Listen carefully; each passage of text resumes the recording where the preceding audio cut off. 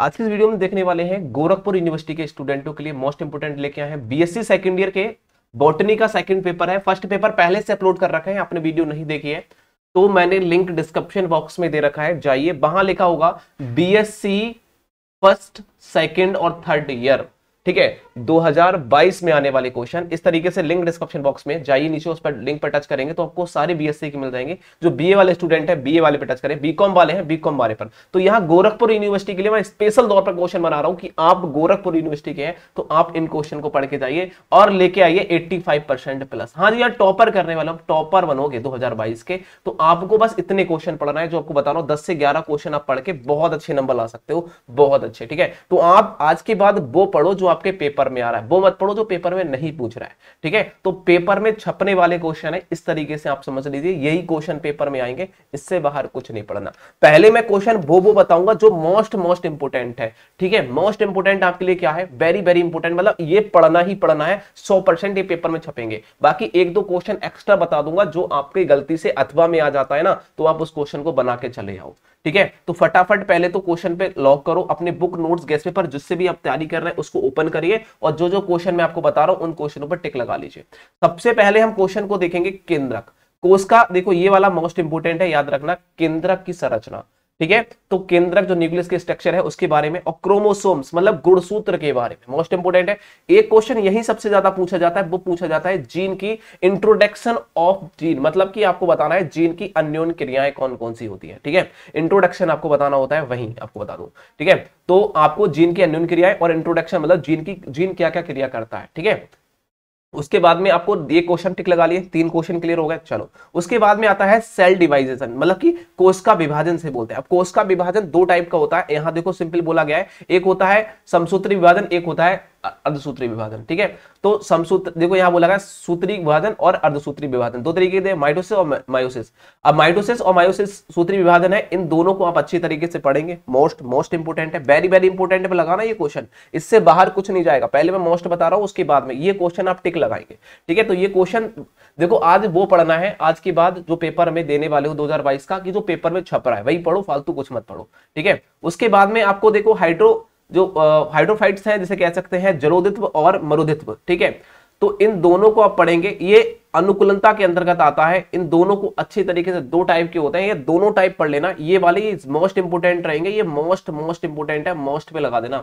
Mendel के तीनों नियम को आप पढ़ेंगे। मेंडल के तीनों नियम पढ़ेंगे। जो जो क्वेश्चन पेपर में आपको दिखा रहा हूँ। कैश पेपर में आपके सारे क्वेश्चन मिलेंगे आप इनको अच्छे तरीके से म्यूटेशन क्या होता है? म्यूटेशन के कितने टाइप होते हैं? इसको आप पढ़ेंगे। मोस्ट इंपोर्टेंट पे लगा लेना। म्यूटेशन क्या होता है? एक क्वेश्चन आपसे पूछेगा इस तरीके से। इकोसिस्टम तो आपसे सौ बनेगा पेपर में। इकोसिस्टम इकोसिस्टम तंत्र जो परिस्थिति की तंत्र होता है, उसका विकास कैसे मतलब क्या क्या होता है जीवन जैसे जीवों की परस्पर क्रियाएँ जो होती है, वो इकोसिस्टम के अंतर्गत आती है। जीवों, जो जीवों, अपनी जो क्रियाएँ करता है, परस्पर क्रिया करता है, वो इकोसिस्टम के अंतर्गत रखा जाता है तो वो आप देखेंगे जीवों की परस्पर क्रिया के बारे में। एक अवधारणा दी गई थी, जिसे कहते हैं सीमैक्स सीमैक्स की अवधारणा कॉन्सेप्ट ऑफ़ सीमैक्स इस तरीके से कॉन्सेप्ट आपसे पूछा गया? तो इस क्वेश्चन को आप ध्यान से रखिए सीमैक्स की अवधारणा मतलब कॉन्सेप्ट ऑफ़ सीमैक्स क्या होता है? अब इसको पढ़ के आएँगे।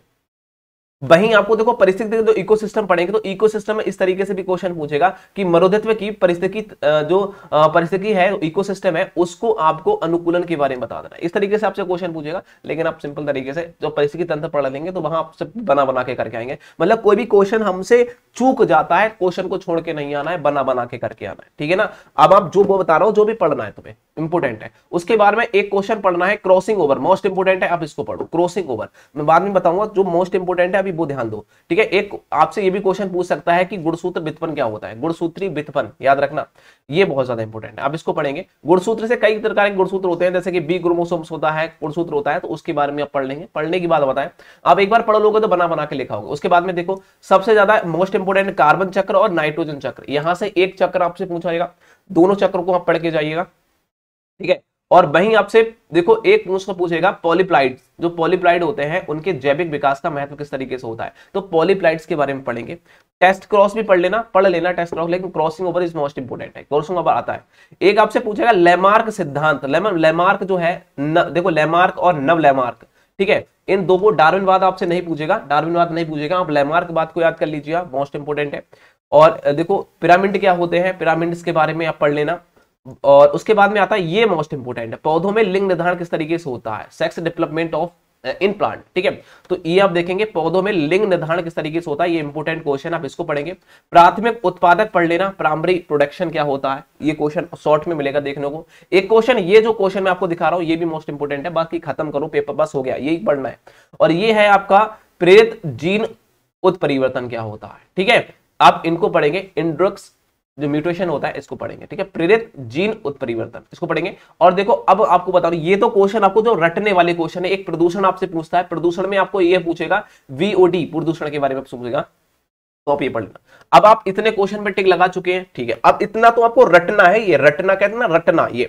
अब इसके अलावा हमें क्या पढ़ना पड़ेगा? मान लीजिए आप इतना कर लेते तो पास तो हो जाओगे अच्छे नंबर से, लेकिन हमें टॉपर बनने के लिए थोड़ी सी मेहनत और करनी पड़ेगी। मेहनत क्या है? आपके बुक नोट्स गेस्ट पेपर में जो जो क्वेश्चन एक्स्ट्रा आपको मिल रहा है। जैसे मैं आपको बता दू, एक दो क्वेश्चन आपको लगता है कि इंपोर्टेंट है तो आप पढ़ सकते कोई। लेकिन इतना ही क्वेश्चन पढ़ लेते हैं, अच्छे नंबर से पास हो जाओगे एट्टी यहीं से मिलेगा, कोई दिक्कत नहीं है। एक्स्ट्रा आपको पाना है तो आपको देखो, एक आध क्वेश्चन देखो, ये वाला पढ़ लेना है आपको। ये वाला क्वेश्चन पढ़ोगे कि बहुगुणता किसे कहते हैं? आप इसको पढ़ोगे, ठीक है? और देखो, आप करोगे ऊर्जा का पिरामिड किसे? देखो, पिरामिड जब पढ़ोगे तो ऊर्जा का पिरामिड वहीं आपको देखने को मिल जाएगा, कोई दिक्कत नहीं है। जब भारों का पिरामिड वहीं आपको देखने को मिलेगा तो पिरामिड पढ़ेंगे। एक क्वेश्चन यहाँ से बनता है खाद जाल, फ़ूड। देखो, यहाँ पूछ लेता है खाद जाल एंड खाद फ़ूड, जो होता है ना खाद जाल और खाद श्रृंखला, ये दो क्वेश्चन है, आप इसको पढ़ लेना, यदि आपके गैस पेपर क्वेश्चन बैंक में है तो। यदि नहीं है, जो सीरीज़ वगैरह में है तो पढ़ लेना, वरना नहीं पढ़ना, ठीक है? एक ये पढ़ लेना आपको हरित लवक क्या होता है। हरित लवक पढ़ लेना मोस्ट इंपोर्टेंट रहेगा।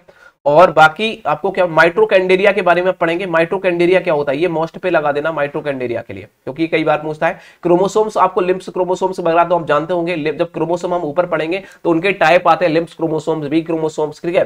तो क्रोमोसोम का वित्तपन बहुत सारे क्वेश्चन वही देखने को मिलते हैं, आप इसको याद रख लेना, ठीक है? और उसके बाद में जीन इकोलॉजी क्या होता है, इसको छोड़ देना, कोई दिक्कत नहीं, बाकी आप इसको पढ़ चुके होंगे। आप बाकी इतना क्वेश्चन पढ़ना है, बाकी यहाँ कुछ भी देखने की ज़रूरत नहीं पड़ेगी, कुछ भी सोचने की ज़रूरत नहीं पड़ेगी, और जैविक विकास हो सके तो जैविक विकास ये पढ़ लेना। एक हो सके तो गलजी कंप्लेक्स यदि आपके नोट्स बुक गैस पेपर में पढ़ा है, गलजी कंप्लेक्स के बारे में तो पढ़ सकते हैं, वरना इसको छोड़ देना। और वही बात की जाए मैंने कोस्का के बारे में, देखो कोस्का, ये बात प्लांट के सेल देखो ये आपको देखना पड़ेगा, पादप कोस्का के बारे में। पादप कोस्का का मतलब होता है कि जो प्लांट की सेल्स है, उसका अल्ट्रास्ट्रक्चर आपको देखना होता है पादप कोशिका का अल्ट्रा स्ट्रक्चर बस इतना क्वेश्चन पढ़ना है, बाकी कुछ देखने की ज़रूरत नहीं पड़ेगी, यही इंपोर्टेंट है 2022 के लिए। आप इसको पढ़ के आप टॉप करोगे, ठीक है? टॉप करोगे, मैंने स्टार्टिंग में जो पहले क्वेश्चन बताते आप उतना भी पढ़ लेते हो तो आप अच्छे नंबर से पास हो जाते हो। लेकिन टॉप करने के लिए हमें थोड़ी तो मेहनत करनी पड़ेगी तो इतनी मेहनत कर लीजिए कोई दिक्कत नहीं है कमेंट सेक्शन में आप बता देना। कोई जिस, जिस देखो कोई भी यूनिवर्सिटी के स्टूडेंट है आपको प्रॉब्लम हो रही है। आपको समझ में नहीं आ रहा मैंने साल आल यूनिवर्सिटी के इंपोर्टेंट क्वेश्चन डाले हैं वो ही पढ़ लेते हैं तो काफ़ी इंपोर्टेंट रहेगा। लेकिन आप इसको पढ़िए आप यूनिवर्सिटी यूनिवर्सिटी में आपको डाल रहा हूँ प्रोवाइड करा रहा हूँ जो आपके पेपर के लिए काफ़ी इंपोर्टेंट है। तो चैनल को भी सब्सक्राइब करके बेलाइकन को प्रेस कर देना और ज़्यादा से ज़्यादा दोस्तों को शेयर कर देना। Thank you for watching video channel को भी सब्सक्राइब करेंगे ओके